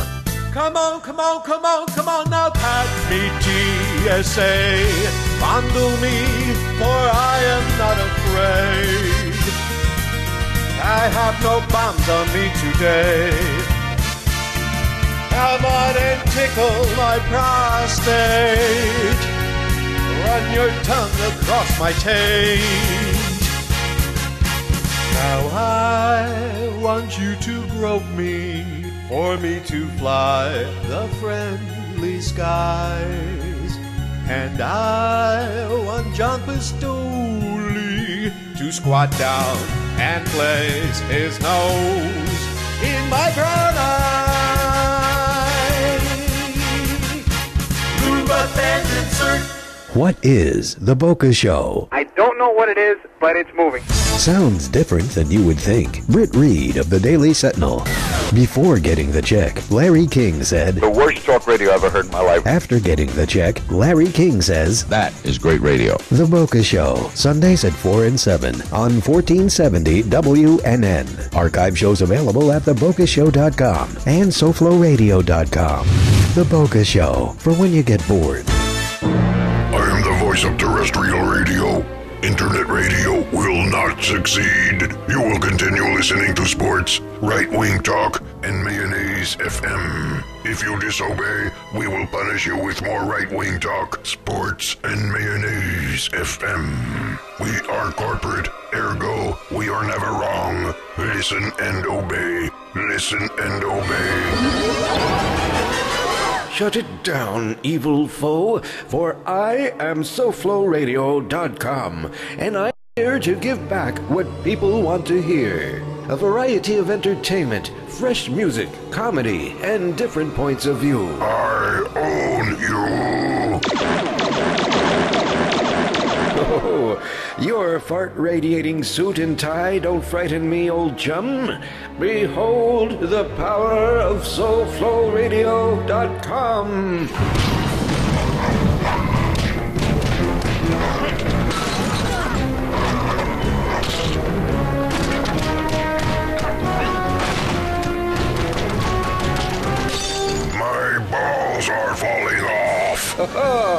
you only had one, my evil friend.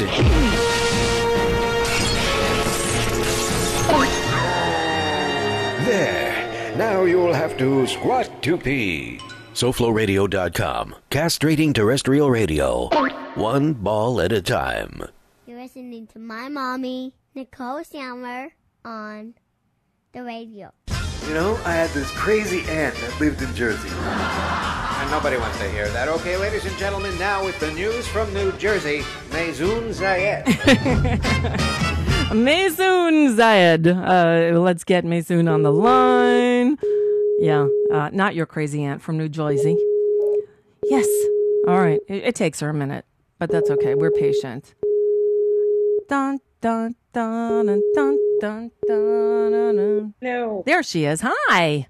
Hi, how are you? I'm good. How are you? Welcome back. Thank you. You know, I was sick. You I had was sick. syphilis, huh? I got to tell you, you know, this year I got a flu shot. And since I got the flu shot, I've spent more days sick than than healthy. Uh, but- well, that's my theory about flu shots. Yeah. I have yet to see the person who got a flu shot and didn't get sick. And I've never gotten a flu shot and probably have higher tolerance than all of you. Yeah, well, I, this is the last time. I'm not getting a flu shot anymore. I'm telling you. And and I was sick, and then I was better for uh, for uh, like a week, and then, Then all of a sudden it relapsed worse. I mean, and uh, I'll tell you, and then, you know, look, I look forward to these days that Randi is out because honestly, they pay, it's Premiere Radio who syndicates her Yeah. show, which is owned by Clear Channel, and they pay the fill in hosts really well. And Nice. these days that I fill in for Randi, seriously, provide the bulk of my income for the year. Wow. And to have to miss a day, I missed last Wednesday because I literally, you know, I, I struggled through Monday and Tuesday and even Thursday. And Wednesday morning, I woke up and nothing came out. This is how I sounded. And I, I, I was in tears because honestly, to miss a day costs me a lot of money. A- aside from the fact that I'm letting them down, knowing that I'm there, you know, I am the primary fill in. Occasionally they'll have somebody else, but rarely. And you know, I always want to be available when they call me because I want them to know that they can call at the last minute. And yes, I'm there. Yeah, And, believe and, me, I know exactly what you're talking about. Uh, and so it really, really sucked. Um, Yeah. But you know, that's the part of entertainment that people never understand. That like, okay, I'm not pouring concrete, but if I'm scheduled for something, it doesn't matter if I'm sick, if there's a funeral, Yep. if if it doesn't matter It doesn't happens. matter. Like, a, Right. I want to make sure that I'm always ready last minute anytime anyone needs me. And I also know, just like you, that the one day that you're sick, they'll find the other person to I know. Well, and that's the thing. I don't want to have to. I don't want to give them the opportunity or the need to find somebody else. I want them to know that I'm always there. And seriously, I mean, uh, you know, I, I I was literally in tears. And and thankfully, I kept quiet all day.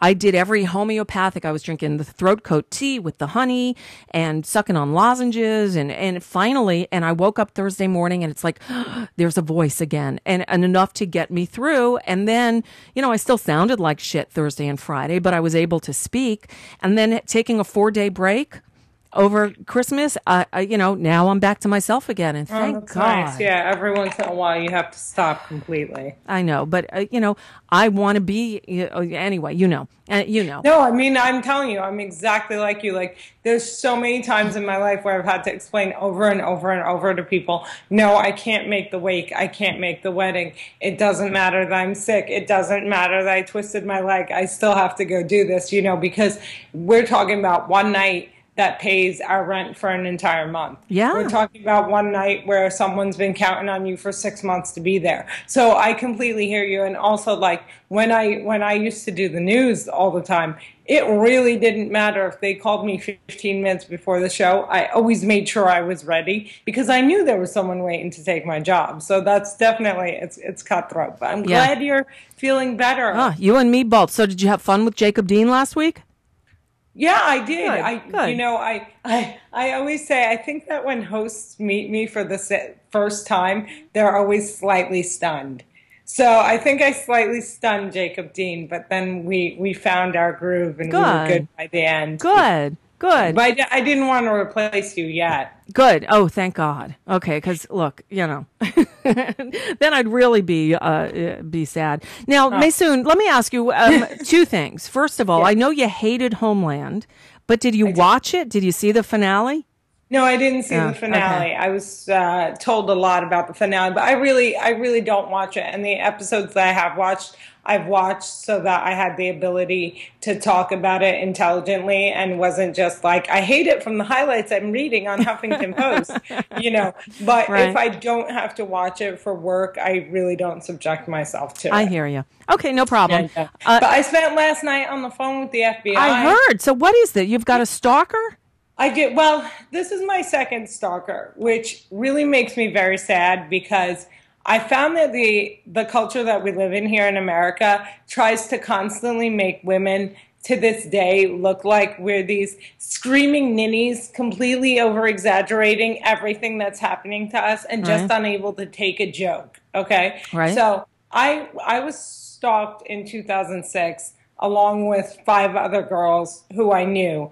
And I told some of my best friends because I was worried and because this person was part of an inner circle. And no one believed me. And I found it very strange. And I was like, do I have the kind of personality that makes you think I would ever lie about something so huge?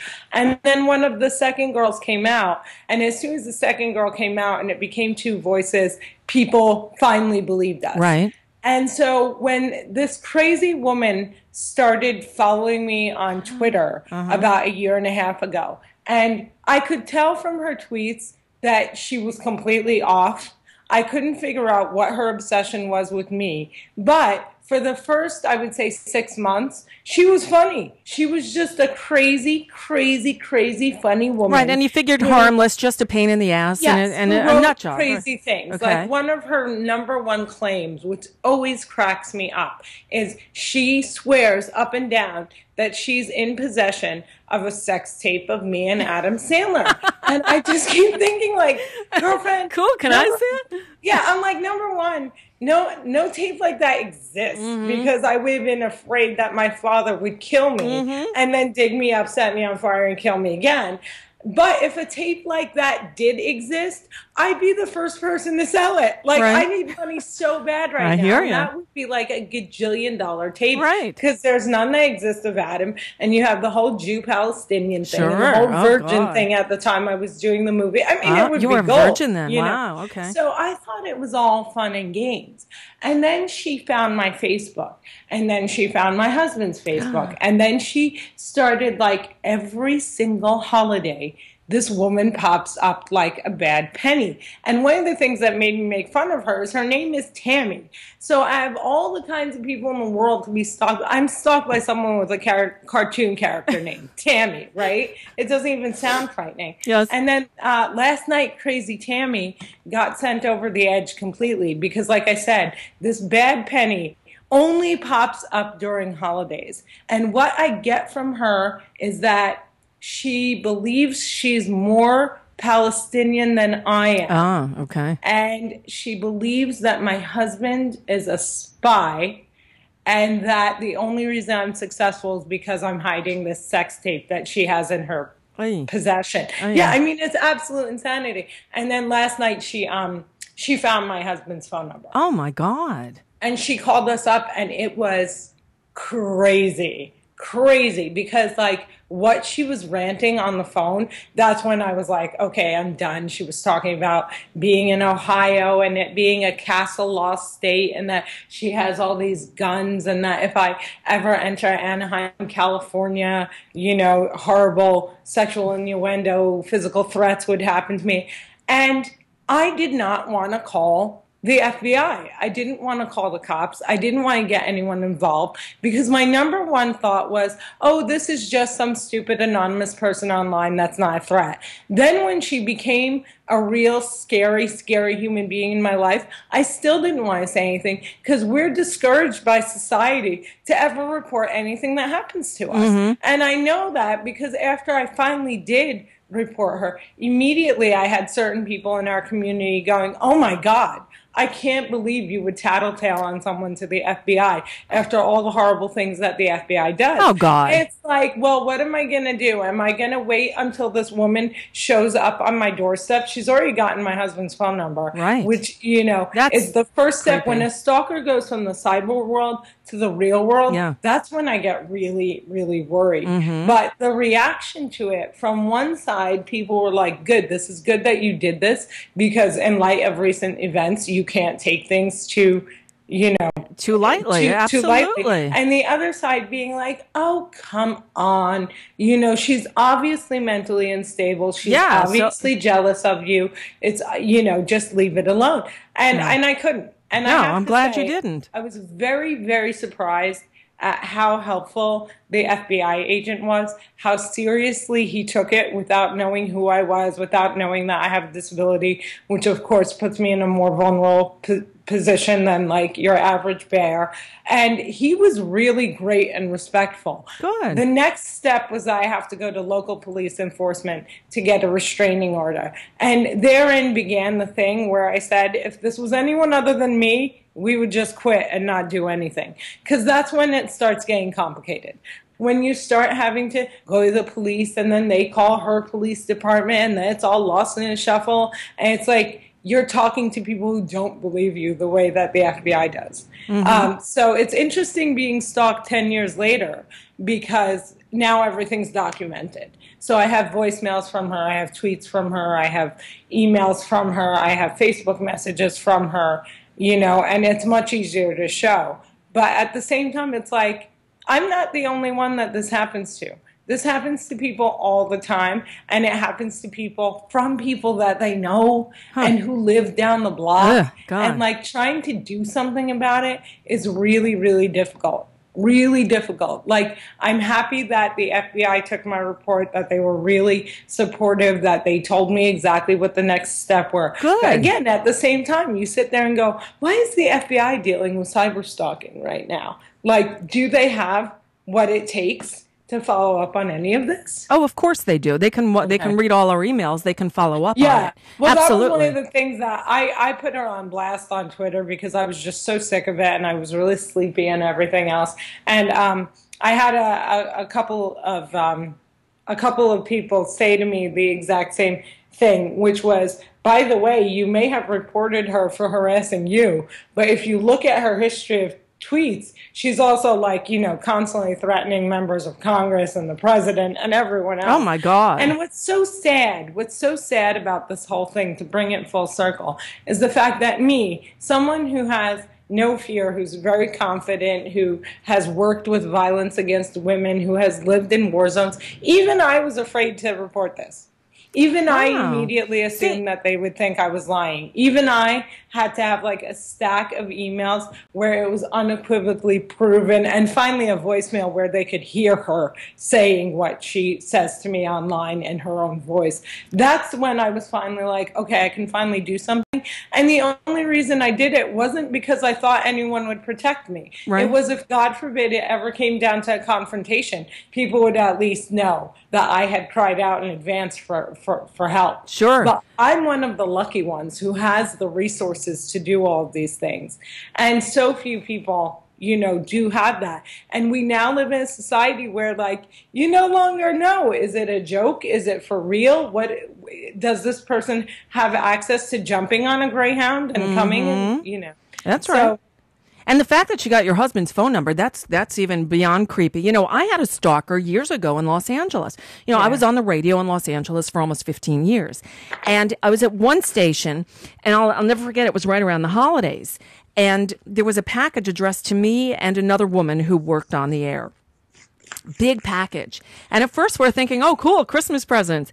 And we open it up, and there have to be hundreds of little things inside this package, individually, meticulously wrapped. Oh and my first God. we started opening it thinking it's a cool scavenger hunt. And the, the, the, the more we got into it, the creepier it became with this long, rambling note. And finally, after about five minutes of it, it didn't take very long, we both went, ew.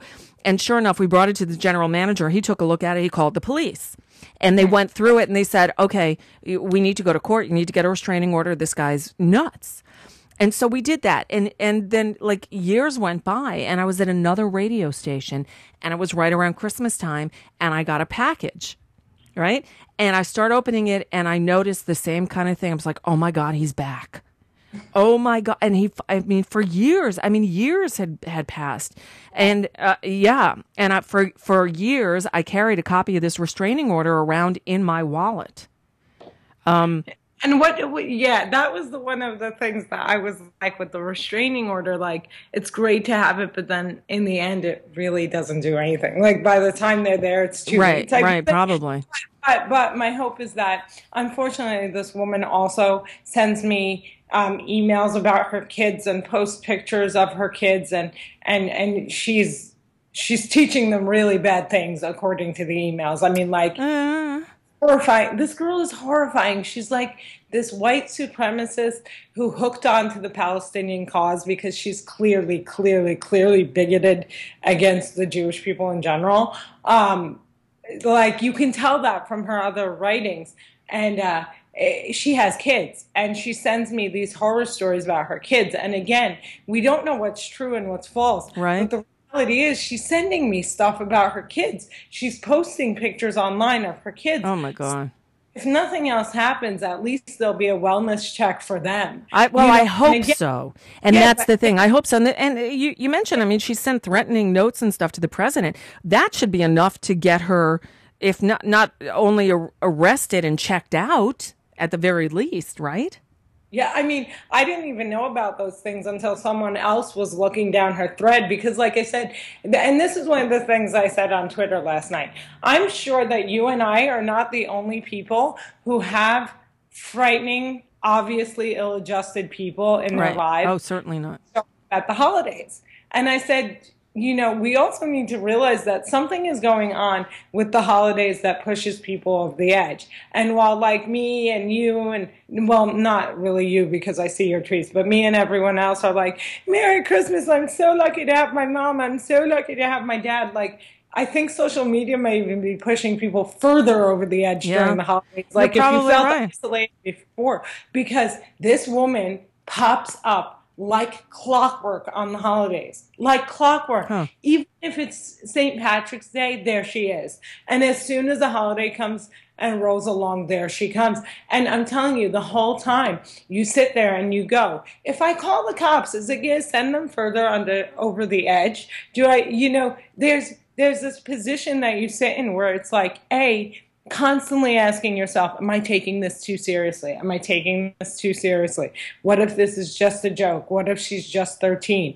But what I said to people was, with this, it wasn't an anonymous person bothering me. It was a documented woman with a name and an address and kids who showed no shame contacting me from all and any of those um, places. So in the end, you know, like I said, my, my husband, who I call Chefugee, people always say to me, "We never see your husband." And there's tweets where people are like, "We've never seen your husband." And when I look up on Google, like the searches for my name, it's Maysoon Zayid husband. Wow. And people have always wondered why I don't like parade him around and like post his pictures everywhere. And this is why.